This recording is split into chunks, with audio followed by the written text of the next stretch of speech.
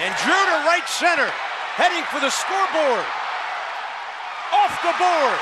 Here comes Rendon. The Nationals win on a walk-off by pinch hitter Stephen Drew.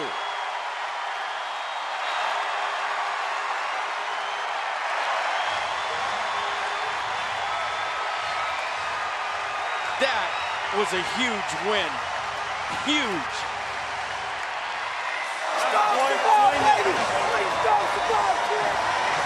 Stephen Drew and the Wolfpack do it again.